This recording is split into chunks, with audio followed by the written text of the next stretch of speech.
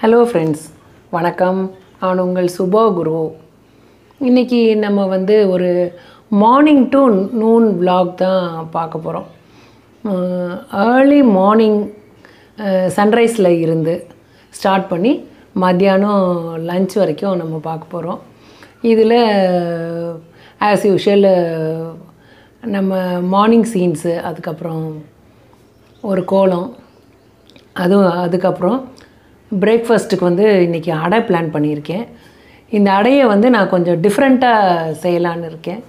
அது எப்படி செஞ்சுருக்கேன்றதை பாருங்கள் அதுக்கப்புறமும் மத்தியானம் லஞ்சுக்கு இன்னும் என்ன செய்கிறதுன்னு முடிவு பண்ணலை. ஸோ அதை வந்து நம்ம இந்த வேலையெல்லாம் செஞ்சுட்டு அதுக்கப்புறமும் என்ன செய்கிறது லஞ்சுக்கு அப்படின்றத நம்ம அப்புறமா பிளான் பண்ணுவோம். இப்போ வாங்க வீடியோக்குள்ளே போகலாம்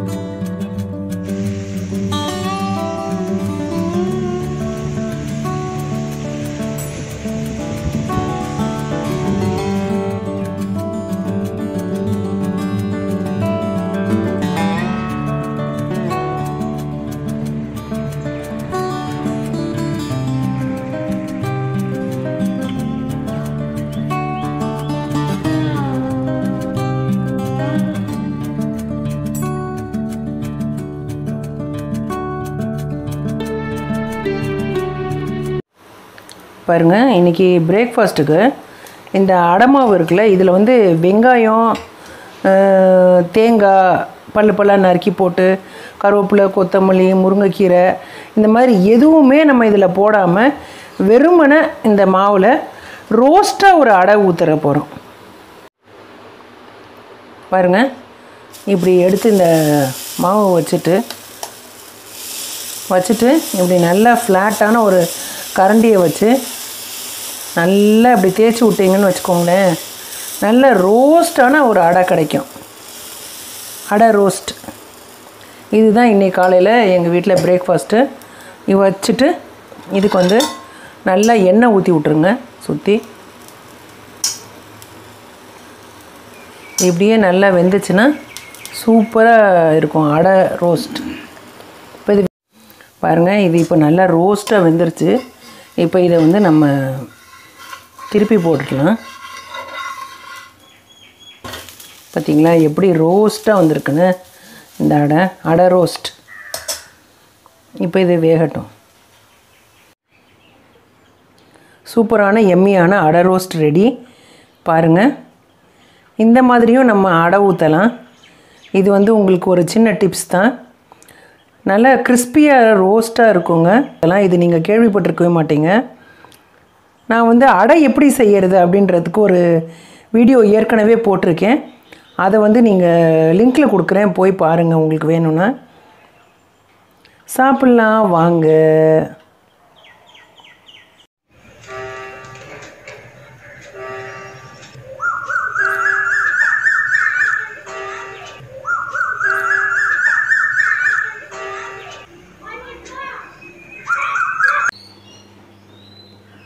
பாருங்கள் இப்போ பிரேக்ஃபாஸ்ட் வேலையெல்லாம் முடிஞ்சிருச்சு. அதுக்கப்புறம் இப்போ வந்து துணியெல்லாம் மடித்து வைக்கணும். சம்மரில் வந்து துணி துவைக்கிறதா இருந்தால் நீங்கள் ஈவினிங்காக துவைச்சிங்கன்னா கொஞ்சம் நிழலில் போய் நம்மளுக்கு துணியை காய போடுறதுக்கு வசதியாக இருக்கும். அப்படி இல்லை அப்படின்னா ஏசியெல்லாம் இல்லாதவங்க வீட்டுக்கு ஒரு சின்ன டிப்பு. துணியை வந்து நீங்கள் நைட்டு துவைச்சிட்டு நீங்கள் தூங்க போகிறதுக்கு முன்னாடி அந்த பெட்ரூமில் கொடியை குறுக்கு நெருக்கமாக கட்டிட்டு அதில் அந்த துணியெல்லாம் காய போட்டுட்டு நீங்கள் படுத்தீங்கன்னா நல்லா ஜிலு ஜிலுன்னு இருக்கும் பெட்ரூம்பு தூங்குறதுக்கும் நல்லா இருக்கும். ட்ரை பண்ணி பாருங்கள் ஏசி இல்லாதவங்கெல்லாம் ரொம்ப ஒரு சூப்பர்பான ஒரு அட்மாஸ்ஃபியராக இருக்கும். மேலே ஃபேன் ஓடுறதுக்கும் அதுக்கும். இந்த துணியும் காஞ்சி போயிடும் நம்மளுக்கு. நம்ம தூங்குறதுக்கும் நல்ல ஜில்லுன்னு காற்று வரும். ஸோ ட்ரை பண்ணி பாருங்கள் இப்போ வந்து நம்ம இந்த துணியெல்லாம் மடித்து வச்சுட்டு அடுத்த வேலையை நம்ம பார்க்கலாம். இப்போ பாருங்கள் துவைச்ச துணியெல்லாம் காய வச்சு எடுத்துகிட்டு வந்து வச்சுருக்கேன். இப்போ இது எல்லாத்தையுமே மடித்து வைக்கணும். மடித்து வச்சுட்டு உங்கள்கிட்ட காமிக்கிறேன். பாருங்கள் இப்போ துணியெல்லாம் மடித்து வச்சாச்சு. இப்போ எல்லாத்தையும் கொண்டு போய் அது அதையோட இடத்துல வச்சிடணும். துணி மடிக்கிறப்போ ஒரு சின்ன டிப்ஸு இந்த மாதிரி வெளியில் கட்டிட்டு போகிற சாரீஸ் எல்லாம் தனியாக வீட்டுக்கு கட்டுற சாரீஸ்லாம் தனியாக காட்டன் சாரீஸ் தனியாக இந்த மாதிரி கைலி கைலி எல்லாம் தனியாக உள்பாவடையெல்லாம் தனியாக இந்த மாதிரி நீங்கள் பிரித்து பிரித்து மடித்து வச்சுக்கிட்டிங்கன்னா கொண்டு போய் அப்படியே டக்கு டக்குன்னு வச்சிடலாம் இது ஒரு சின்ன டிப்ஸு உங்களுக்கு. இப்போ இது எல்லாத்தையும் கொண்டு போய் வச்சிடலாம் அப்படியே அந்தந்த சாரியோட ப்ளவுஸையும் அது அதுக்கு கூடவே வச்சுட்டிங்கன்னா சா ப்ளவுஸ் வந்து எங்கேயும் மிஸ் ஆகிடாமல் இருக்கும். இங்கே பாருங்கள் இந்த சாரியோட ப்ளவுஸ் இது மேலே வச்சுருக்கேன். இந்த சாரியோட ப்ளவுஸு இது மேலே வச்சுருக்கேன். இந்த சாரியோட ப்ளவுஸு இது மேலே வச்சுருக்கேன். இந்த மாதிரி நீங்கள் மடித்து வச்சிட்டிங்கன்னா உங்களுக்கு வந்து சாரீ எடுக்கிறப்ப ப்ளவுஸ் எங்கே போச்சு அப்படின்னு தேடுற வேலை இருக்காது. டக்குன்னு நம்ம சாரீ எடுக்கிறப்பே ப்ளவுஸும் சேர்ந்து நம்ம கூட வந்துடும் இப்போ வந்து பாருங்கள் மார்னிங் பிரேக்ஃபாஸ்ட்டு அப்புறமா கொஞ்சம் வேலை அதெல்லாம் எல்லாம் முடிச்சாச்சு. அப்புறம் என்னோடய பர்சனல் ஒர்க்கெல்லாம் கொஞ்சம் இருந்துச்சு அதையும் நான் முடிச்சுட்டேன். எல்லா வேலையும் முடிச்சுட்டேன். இப்போ வந்து நம்ம லஞ்சு ப்ரிப்பேர் பண்ணணும். இன்றைக்கி லஞ்சுக்கு வந்து ஸ்வீட் கார்ன் புலவ் செய்யலாம் அப்படின்னு பிளான் பண்ணியிருக்கேன். இது வந்து ரொம்ப சூப்பர்பாக இருக்குங்க. ஸோ இப்போ வாங்க இந்த ஸ்வீட் கார்ன் புலவ் எப்படி செய்கிறதுன்றத பார்க்கலாம். பாருங்கள் இப்போ இந்த ஸ்வீட் கார்ன் புலவ் செய்கிறதுக்கு ஃபஸ்ட்டு நம்மளுக்கு பாஸ்மதி ரைஸ் வேணும். அதை வந்து நான் ஊற வச்சுருக்கேன். இந்த கப்பால் ரெண்டு கப்பு பாஸ்மதி ரைஸ் எடுத்திருக்கேன். அதுக்கு மூணு கப்பு இந்த ஸ்வீட் கார்ன் எடுக்கணும். இது வந்து ஃப்ரெஷ் கார்னாக இருந்தாலும் சரி தான் ஃப்ரோசன் கார்னாக இருந்தாலும் சரி தான் அந்த ரெண்டு கப்பு அரிசி எடுத்திங்கன்னா மூணு கப்பு கார்ன் எடுக்கணும். கார்ன் வந்து கொஞ்சம் அதிகமாக இருக்கணும். அப்படின்னா தான் இந்த ஸ்வீட் கார்ன் புலவு நல்லா இருக்கும். அப்புறம் இதுக்கு நம்மளுக்கு சேர்க்கறதுக்கு பச்சை மிளகா வெங்காயம் நீள் நீளமாக நறுக்கி வச்சுருக்கேன். ஒரு வெங்காயம் பச்சை மிளகா வந்து ஒரு மூணு பச்சை மிளகாவை எடுத்து நீட்டமாக நறுக்கி வச்சுருக்கேன். கொஞ்சோண்டு இஞ்சி பூண்டு விழுது கொஞ்சோண்டு புதினாவும் கொத்தமல்லியும் பொடியாக நறுக்கி வச்சுருக்கேன். இது வந்து கொத்தமல்லி கொஞ்சம் மேலே ஸ்ப்ரிங்கிள் பண்ணுறதுக்கு அப்புறம் ஒரு அரை கப்பு பால் வேணும் நம்மளுக்கு. அப்போ தான் நல்லா ஒயிட்டிஷ் கலரில் இது வரும். அதுக்கப்புறம் இதுக்கு தாளிக்கிறதுக்கு கொஞ்சமாக பட்டை ஒரு மூணு ஏலக்காய் கொஞ்சமாக கிராம்பு அப்புறமா கரம் மசாலா தூள் கொஞ்சம் வேணும். அப்புறம் நெய் எண்ணெய் உப்பு இவ்வளோ தாங்க இதுக்கு தேவையானது. ரொம்ப கம்மியான இன்க்ரீடியன்ஸில் ரொம்ப சூப்பராக செய்யக்கூடியது தான் இந்த கார்ன் புலவ் இப்போ எப்படி செய்கிறதுன்னு பார்க்கலாம். இப்போ பாருங்கள் இந்த பேன் சூடாயிருச்சு. இதில் வந்து ஒரு ரெண்டு டு மூணு ஸ்பூன் நெய் ஊற்றிருக்கேன் ஒரு ஒரு ஸ்பூன் எண்ணெய் ஊற்றிக்கலாம் ரொம்ப எண்ணெய் இதுக்கு தேவைப்படாது.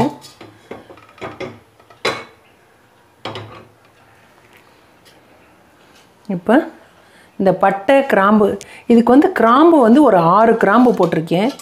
கிராம்பு வந்து கொஞ்சம் நிறைய சேர்த்துக்கோங்க. கிராம்பு இஞ்சி அப்புறம் இந்த பச்சை மிளகா. இதிலிருந்து கிடைக்கக்கூடிய ஒரு காரம்தான். கிராம்பு வந்து நிறைய நீங்கள் சேர்த்திங்கனாலும் ஒரு சுறுசுறுன்னு ஒரு காட்டம் இருக்கும். அந்த காட்டம் தான் இதுக்கு தேவை. எல்லாம் பொரிஞ்சிருச்சு. இப்போ நம்ம வந்து வெங்காயம் பச்சை மிளகாவை சேர்த்துக்கலாம். கொஞ்சம் இதை வதக்கிக்கலாம். இப்போ வெங்காயம் ஓரளவுக்கு வதங்கிருச்சு. இப்போ இந்த இஞ்சி பூண்டு விழுதையும் சேர்த்துக்கலாம் அதோட இந்த புதினா கொத்தமல்லி அதையும் சேர்த்துடலாம். இதையெல்லாம் சேர்த்து நல்லா வதக்கிக்கலாம். இப்போ இந்த ஸ்வீட் கார்ன் சேர்த்துடலாம். இதையும் கொஞ்சம் வதக்கிக்கலாம் ஓரளவுக்கு. இப்போ இதில் ஒரு கால் டீஸ்பூன் கரம் மசாலா தூள் சேர்த்துக்கலாம். இப்போ இந்த கானும் கொஞ்சம் வதங்கிடுச்சு இப்போ நம்ம ரைஸ் சேர்த்துக்கலாம். அதையும் சேர்த்து ஒரு வதக்கு வதக்கிக்கலாம். புலவுக்கு தேவையான அளவுக்கு உப்பு சேர்த்துக்கலாம். நான் ஒரு அரை டேபிள் ஸ்பூன் கல் உப்பு சேர்த்துருக்கேன். இப்போ ஒரு அரை கப்பு பால் இதில் ஊற்றிடலாம் இப்போ ஒன் இஸ் டூ டூ அப்படின்ற கணக்கில் தண்ணி சேர்த்துக்கலாம்.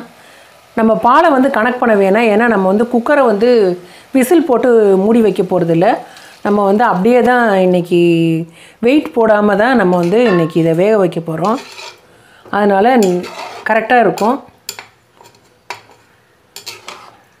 One is to two plus அந்த ஒரு அரை டம்ளர் அரை கப்பு பால் எல்லாத்தையும் சேர்த்து வச்சிட்டோம் நம்ம. இப்போ இது வந்து கொஞ்சம் கொதிச்சு வேகட்டும். இப்போ பாருங்கள் இது நல்லா கொதிக்குது. இப்போ நம்ம ஒரு தடவை கிண்டி விட்டுட்டு ஜஸ்ட்டு மூடியை போட்டு மூடி வச்சிட வேண்டியதான் நம்ம. வெயிட் போட வேணாம். மூடி போட்டுட்டு நல்லா ஆவி வந்தோடனே ஸ்லிம் பண்ணிவிட்டு ஒரு டென் மினிட்ஸ் அப்படியே வைக்க போகிறோம் இப்போ நம்ம குக்கரை ஓப்பன் பண்ணலாம். பாருங்கள் எவ்வளோ சூப்பராக வந்திருக்குன்ட்டு. இப்போ டாப்பில் கொஞ்சமாக ஒரே ஒரு சின்ன ஒரு டீஸ்பூன் நெய் ஊற்றிடலாம் இதை வந்து நம்ம கொஞ்சம் அப்படியே கிண்டி விடலாம். பார்த்து மெதுவாக கிண்டுங்க. இல்லைன்னா இந்த அரிசி உடஞ்சி போயிடும். அவ்வளோதான் ரொம்ப கிண்டக்கூடாது. இப்போ ரெடி டு பி சர்வ்டு பார்த்தீங்களா ஃப்ரெண்ட்ஸ் நம்மளோட கார்ன் புலவ் சூப்பராக ரெடி ஆகிடுச்சு ரொம்ப சிம்பிளான ஒரு புலவு. ரொம்ப டேஸ்டியாக எம்மியாக இருக்கும். டக்குன்னு நம்ம நினச்ச மாத்திரத்தில் ரெடி பண்ணிடலாம் இந்த புலவு ரொம்ப ஈஸியான டேஸ்டியான corn pulao. Sweet corn pulao. சாப்பிட்லாம் வாங்க. என்ன ஃப்ரெண்ட்ஸ் இந்த விலாக் ஃபுல்லாக பார்த்தீங்களா இதில் வந்து இந்த கோலம் எப்படி இருந்தது? அதுக்கப்புறமா நான் டிஃப்ரெண்ட்டு மெத்தடில் இந்த அடை அடை ரோஸ்ட் எப்படி செய்கிறது அப்படின்னு உங்களுக்கு செஞ்சு காமிச்சிருந்தேன். அதையும் நீங்கள் ஒரு ட்ரை பண்ணி பாருங்கள் உங்கள் வீட்டில் ரொம்ப டேஸ்டியாக இருக்கும். சின்ன குழந்தைங்கள்லாம் ரொம்ப விரும்பி சாப்பிடுவாங்க. சில பேருக்கு இந்த வெங்காயம் இதெல்லாம் சேர்த்தா பிடிக்காது. அந்த மாதிரியான குழந்தைகளுக்கு இந்த மாதிரி செஞ்சு கொடுக்கலாம். நல்லா விரும்பி சாப்பிடுவாங்க. அதுக்கப்புறமா இந்த ஸ்வீட் கார்ன் புலவ் இதுவும் நீங்கள் ட்ரை பண்ணுங்கள் ரொம்ப சூப்பராக எம்மியாக இருந்துச்சுங்க. இந்த கார்ன் இருக்குல்ல இந்த ஸ்வீட் கார்னு இது வந்து சாப்பிட்றப்ப நடுவில் வருது. அது வந்து அந்த ஒரு மாதிரி ஜூஸியாக அது. சாப்பிட்றதுக்கே ரொம்ப டேஸ்டியாக இருந்தது. ஸோ நீங்களும் இதை வந்து கண்டிப்பாக வீட்டில் ட்ரை பண்ணி பாருங்கள் ரொம்ப டேஸ்டியாக இருந்தது. உங்கள் குழந்தைகளுக்கு லஞ்ச் பாக்ஸ் ரெசிபியாக கூட இந்த ஸ்வீட் கார்ன் புலவ் நீங்கள் செஞ்சு கொடுத்து விடலாம். ரொம்ப டேஸ்டியாக சாப்பிட்டுட்டு வருவாங்க. நான் உங்களை அடுத்த வீடியோவில் சந்திக்கிறேன். அது வரைக்கும் தேங்க்யூ நன்றி. வணக்கம். பாய்